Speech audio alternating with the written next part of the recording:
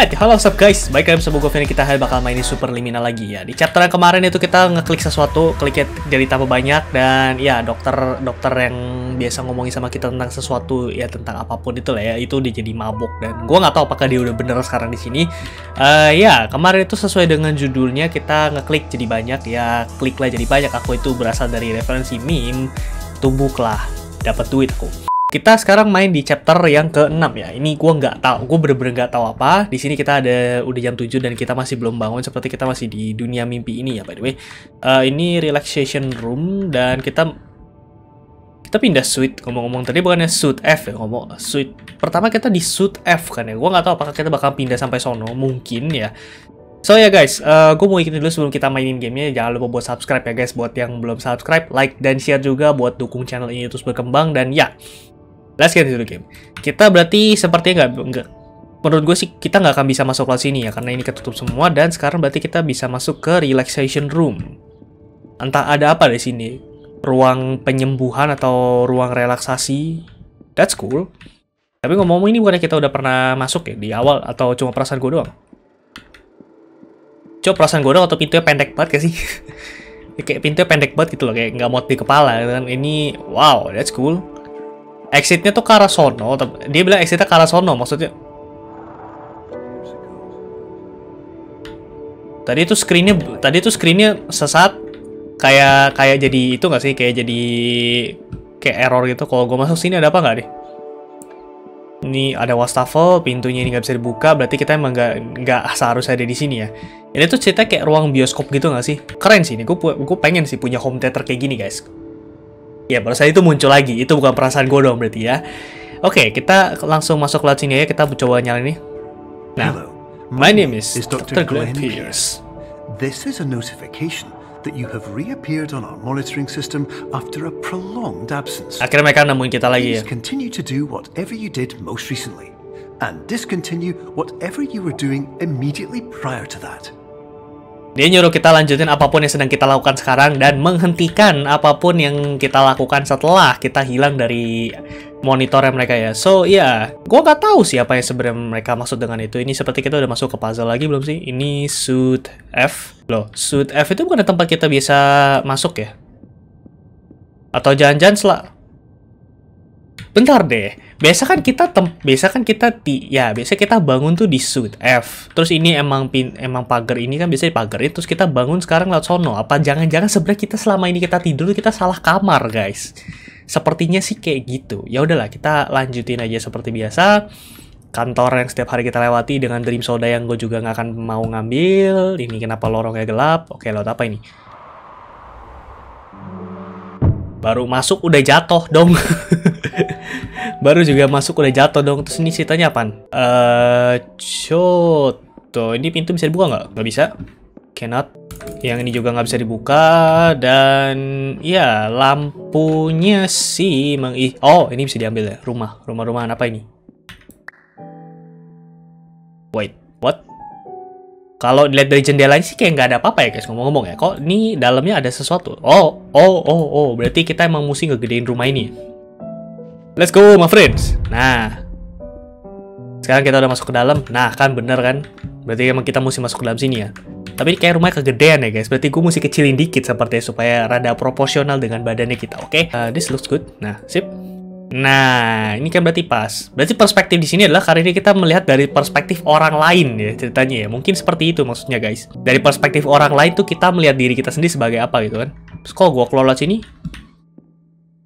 Ya bukannya muter ya? Ini muter gak sih? Terus kalau gua lewat sini maksudnya gimana? Eto nani? Bentar deh, ini cerita gua keluar lewat sini terus... Bentar, tadi tuh gua masuk lewat belakang sini ya berarti ya? Bukan kok. Tapi kita ada di ruangan yang sama kan? Oh, mungkin maksudnya mesti dikecil, digedein gak sih? Ya ini ada digedein dikit. Pas gue masuk lagi, gue bakal jadi berukuran kecil dan gue bisa masuk ke sono. Ya nggak sih? Gue bisa lompat-lompat ini nggak by the way? Ya, seperti bisa. Nice. Nah, ya betul. Oke, kita udah keluar di sini dan ya ini ini puzzle mulai musingin sih karena perspektifnya bukan perspektif dari sudut pandang kita tapi dari sudut pandang si rumahnya ini yaitu sudut pandangnya objek sudut panjang sudut pandangnya objek guys ini agak-agak musingin emang Terus kenapa nih radio malah bisa gua ambil? Ini fungsinya ini apa? Ini bisa gua ambil kan nih? Oh enggak, ini kayak yang stage yang lama sih ya. Coto, ini kenapa ada di sini by the way? Ini apa maksudnya? Kok ada TV kerasa-kerasa gini? Apakah itu referensi dari yang layar sebelumnya kah? Pintu nggak bisa dibuka, oke. Dan di atas ini nggak ada apa-apa, lewat aja kok gitu. Kok jadi gelap sih sono? Ini apa? Hello, my name is Dr. Glenn Pierce. In addition to continuing and discontinuing as mentioned earlier, please also disregard any unsettling experiences that you may have recently had. Everything should have now reverted to being soothing and therapeutic. If this is not the case, you may be receiving this message in error. What? Jadi dia barusan bilang kalau seandainya segala macam pengalaman yang kita kita alami di chapter sebelumnya, yaitu dua chapter sebelumnya yang, yang ada horor-horornya itu ya, yang gue sampai kena jump scare. Di sini bisa nggak nih? Wow? Ya, katanya itu harusnya sih nggak terjadi, katanya sih gitu. Dan harusnya kita udah balik lagi ke, apa namanya, soothing dan relaxing. Menenangkan gitu lah intinya ya. Kayak, ya gue harap aja gitu sih. Matamu relaxing, pak. Terus kok gue nginjek ini, gue kesetrum nggak ya? Nope, nothing happened. Ah, nggak seru. Kenapa lagi nih tiba-tiba tiba-tiba gerak-gerak dong? Oke, kita udah nyampe di sini dan that's nice. Ya, matamu relaxing, pak. Itu nggak relaxing, by the way. Terus, uh, kayak gue denger kayak suara helikopter gak sih barusan? Bentar, ada apa sih? Ini kayak ada suara kerasa-kerasa-kerasa. Oh, ada kipas, guys. Terus gue mesti itu di sono kah? Ini tuh apa sih? Ini tower tuh nggak stabil ya ceritanya ya. Tapi gue nggak bisa ngambil dong. Ceritanya mesti gue apain kah? Ini kipas.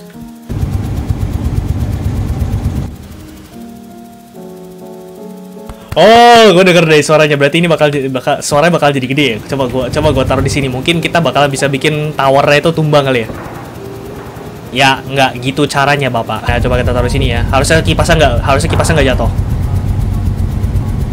Ya, kipasnya jatuh, towernya juga jatuh. Untungnya sih itu nggak jatuh juga ya. Kalau itu sampai jatuh, kalau kalau pintu ini sampai jatuh juga, gue ketawa loh. Ya elah, dia masih di sono dong pintunya. Terus gue naik ke sono bisa nggak? Bisa sih harusnya. Ah, nice. Ah, akhirnya bisa kan? Nice. Oke, gue gue juga sebenarnya puyeng sih denger suara kipas itu dari tadi ya. Terus kalau gue keluar di sini kita bakal keluar lewat mana? Ini pintu kekecilan dong. Terus gue mesti ngapain? What? What? What? What? What? What? What? What? Wait, what? Jadi itu bisa diambil? Bentar, jadi itu bisa diambil? Yang lainnya nggak bisa ya? Cuma ini doang yang bisa ya? Ya udahlah gue buka ya kalau gitu. Kalau atau mesti gue gedein kah? Kalau gue lihat sini bisa nggak? Lihat, lihat, lihat kecil. Nah, nice. Berarti ternyata perspektif itu emang perspektif dari gedungnya ke orangnya, guys. Bukan dari orang ke gedungnya. Ini keren sih konsepnya sih. Kalau gue masuk sini ada apa sekarang? Oke, ini kayak kamar mandi gitu nggak sih? Locker pemandian gitu. Terus ini isinya apa? Hello, my name is Dr. Glenn Pierce, and I'd like to read you my favorite inspirational quote by me. My favorite inspirational quote The by me. The worst thing you can do is focus on negativity.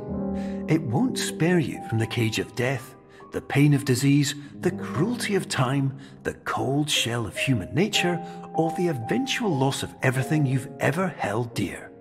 Whatever you do, don't focus on that.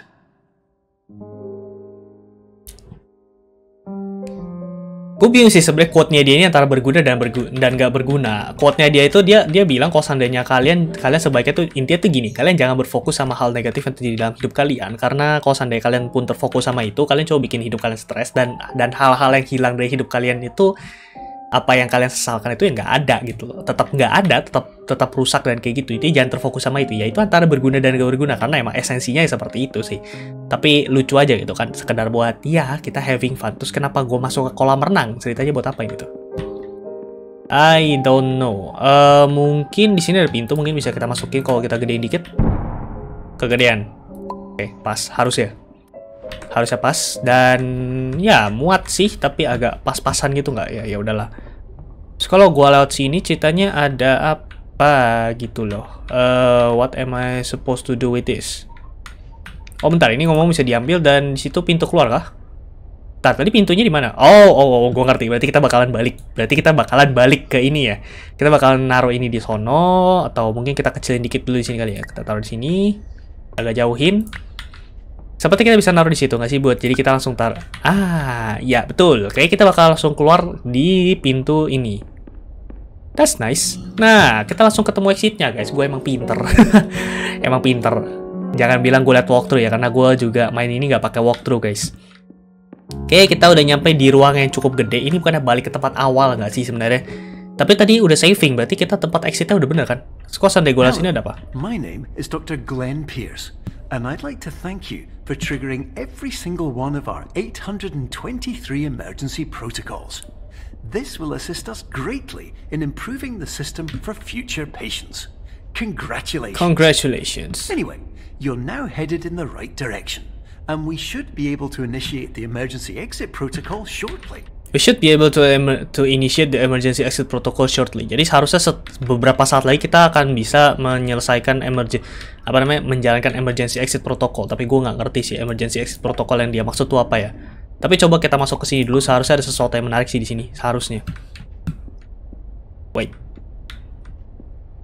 Jadi ini nyambungnya ke sebelah sini ya. Kalau seandainya dia nyambungnya ke sebelah sini berarti tinggal gua taruh di sono dong. Bisa nggak sih? Tinggal gua taruh di atas sini nggak? Tuh. Atau mungkin kalau seandainya gue masuk sini gue bakal jadi gede gitu kan. Ah, I see, betul. Berarti kalau seandainya gue masuk sih. Berarti kalau gue masuk sini gue bakal jadi gede, guys. That's right. Nah. Terus berarti ini bisa gue taruh di atas sini dong. Ya nggak sih? Coba dulu ya. Kita kecil. Terlalu kecil sih. Ya tapi ya nggak apa-apa lah. Bisa-bisa. Nah, gua nggak tahu udah tahu apa yang terjadi, tapi pokoknya udah coba kita masuk ke dalam sini. Nah, oke okay, kita masuk ke seperti meja catur ya ini ya. Waduh. Gila kita udah kayak Apex Legend gak sih? Coba perasaan gue dong atau sebenarnya kekecilan ya ini ya gue naronya ya. Ya udahlah, tapi ini sumpah jauh banget sih. Terus apa yang bisa gue ambil nggak di sini? Tadi sih ada sebenarnya ada ini yang bisa gue ambil, tapi gue nggak tahu apakah gue bener-bener harus ngambil ini. Coba gue taruh di sini mungkin. Ngeng. Oke, okay, that's too big. Sampai dia lama gitu nggak tuh turunnya? Ya kan, kegedean. Nah. Kayak ini ukurannya udah cukup benar harusnya. Nggak, guanya kekecilan. Jangan. Jadi kurcaci dong gue. Nah. Pas. Perspektifnya enak gitu kan. Terus apa? 5 to 6 dreams is the absolute limit. What's the emergency protocol to the emergency protocol? Function overloading, CTT, volume of cuboid, long volume, gue nggak ngerti dari sebenarnya apa sih maksudnya.